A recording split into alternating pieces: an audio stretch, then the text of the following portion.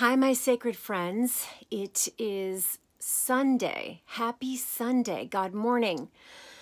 Um, I'm feeling a little weird today. It's a little nause- nausea and like a little bit of a tension headache and um, really dehydrated. I feel super, super dehydrated. So I'm drinking, mm, cheers, a lot of water today. Um, I think it might be allergies. I don't think it's anything too serious. Um, I'm not used to feeling off, so when I do, my body goes a little wackadoodle. But um, yeah, I have a word for you guys today because he's lavishing his love on us this morning. Like, even though I feel off and even though I feel slightly nauseated, um, I feel the Holy Spirit. I feel the Holy Spirit around me today. And um, I want to talk about faith. I want to talk about what faith really is. I know I always say it's forwarding all issues to heaven, and that is absolutely true. But I want to sort of dig deeper into what faith really is and explore it with you guys because I don't always have the answers, but I just, uh, was listening to um, a sermon this morning, and the pastor was talking about a, a C.S. Lewis story. I think it's in Mere Christianity, where um, he says, you know, when we first become Christians, we can tell that there's something going on, like in our house. We can feel that God is like ripping out the pipes, and He's, you know, He's, He's, um, um, restoring the home. He's pulling out the pipes and he's, um, you know, pulling up the wooden floors and or whatever kind of floor. I wouldn't pull up my wooden floors. I don't know about you guys. but he's pulling up the floors and he's pulling out the piping and he's redoing the roof and you're like, "Okay, you know, I get it. Like this this is going to be good. I get this." But then he starts knocking down walls and he starts blowing out the windows and he starts, you know, like, uh, you know, like breaking the foundation of the house, pulling it from underneath. And you're like, okay, whoa, what are you doing? This is not okay. You know, like we, I thought you were going to build me like a nice, decent little cottage, you know? But as the renovation continues and as more and more starts to happen, you see he's building courtyards and he's building, you know, these beautiful suites and he's building like these gorgeous, you know, windows and uh, beautiful landscaping. And you start to see the beauty in the destruction that was once just like destruction and then you wonder and you wonder why? Why is he building all this beautiful beautiful stuff in this in this house? Why is he building so many rooms and why? And he's building a palace. Why? Because he plans on dwelling in it guys. He plans on dwelling in this palace that he's creating inside of us. I just think that is so beautiful. That is so beautiful. And you know, when we look into water, when we look into still waters, we can see our own faces, our own reflection in the still waters. And it's the same with our hearts, guys. Our hearts are reflected to God. He can see the reflection of our hearts. So He knows the work that needs to be done in our human hearts. Um, I hope I'm not showing too much skin today. it's so hot here. I was like, I don't know if I should be wearing a tank top, but uh, yeah, it's summer's coming, so get used to the tank tops.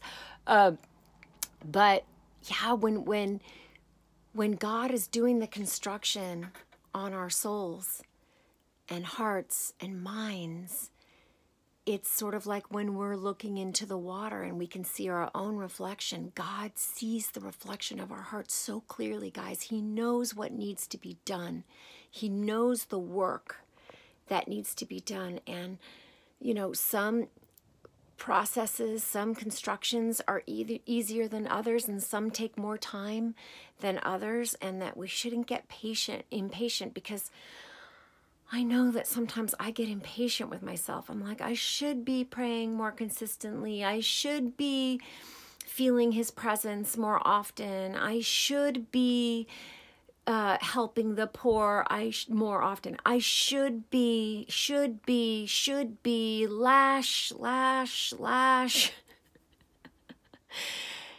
it's like never ending.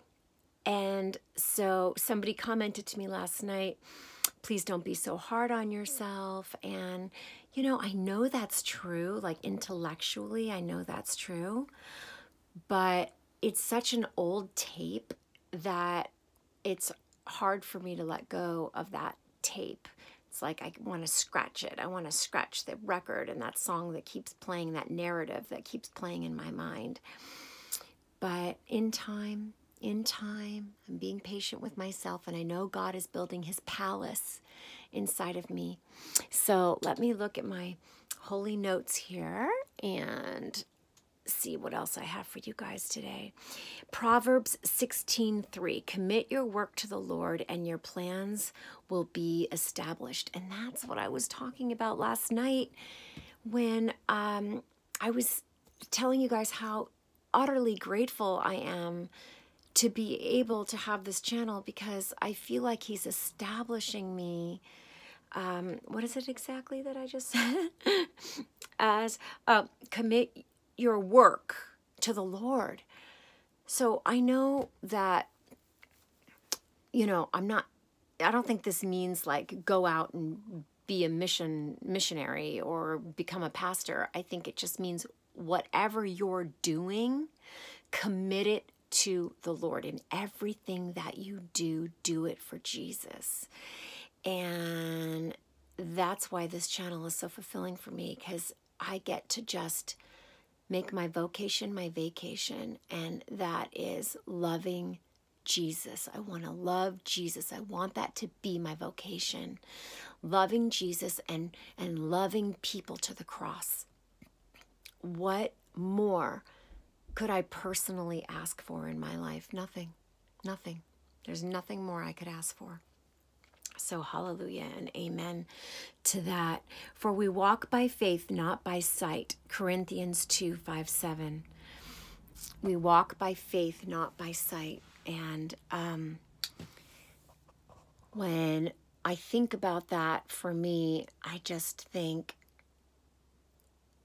my my initial instinct whenever I get into fight or flight, whenever I get afraid, is to try and control it myself, is to try and grab the reins and try and figure it out intellectually in my mind. And I'm like laying in bed at night like a rotisserie chicken, you know, going back and forth and thinking about things. I'm just going round and round and round. And, you know, that doesn't work. It just doesn't work. It's such a waste of time and energy.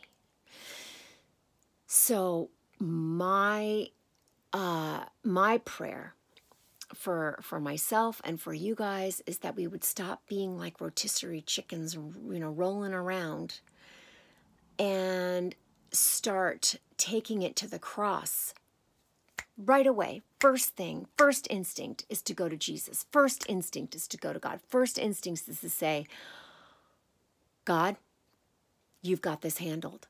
God, you know the outcome. God, I trust you. God, I love you. You know how much fear I'm in right now. God, you know how panicked I am right now. You know that I feel like I want to be in the driver's seat right now. And I want to take control of this and handle it because I want the outcome to be what I want the outcome to be. I want things to turn out the way Chynna wants them to work out.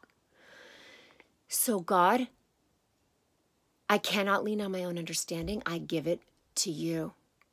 I give it 100,000% to Jesus. I give it to your holy, holy counsel. You know, there's a reason why he's called the great counselor. It's because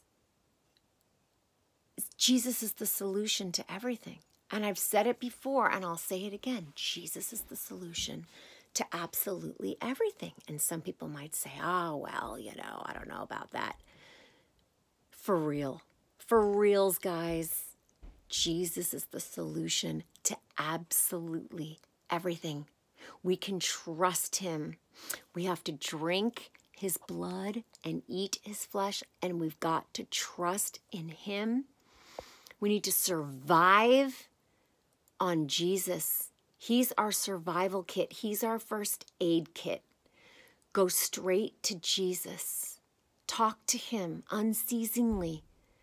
Conversation, dialogue all day long with Him. Talking to Him. Yes, that's the answer. That is totally the answer.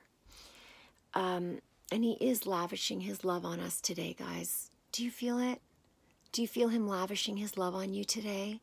If you don't feel it, comment down below so that we can pray for you. Um, the apostle said to the Lord, Increase our faith. Increase our faith. Multiply our faith, Father God.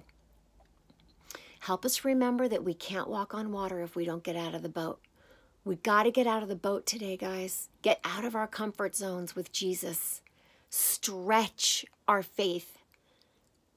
Trust Him even just 1% more today.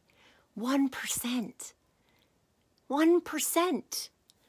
Can we do that? Can we give him that extra 1% today? I can, and I'm going to. I know I know that trusting in an invisible God, you know, the Bible says that we can't see God really. I know people have had visions and that's amazing.